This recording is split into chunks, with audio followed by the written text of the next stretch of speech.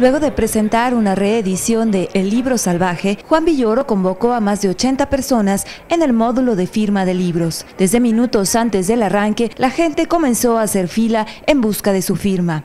Sí, bueno, la feria es una fiesta de, la lectura y una demostración de que el libro no está perdido y que los profetas del Apocalipsis que dicen que no se lee lo suficiente, pues pueden tener aquí una corrección. Por supuesto que debemos ampliar los márgenes de la lectura y la oportunidad de que otras gentes accedan a esta forma de la felicidad que son los libros, pero creo que aquí tenemos nosotros eh, la demostración de que le podemos dar una patada a la idea de la crisis, a la idea del de, de apocalipsis de, los libros y la ausencia de, de, lectores, ¿no? Es una confirmación de que pues, la gente se reúne con un pretexto muy eh, elemental que es compartir historias. El escritor que aún tiene actividades programadas en la Feria Internacional del Libro de Guadalajara se tomó el tiempo de dialogar con los lectores, saludarlos y tomarse fotos. Con información de Marta Calvillo, Milenio Noticias.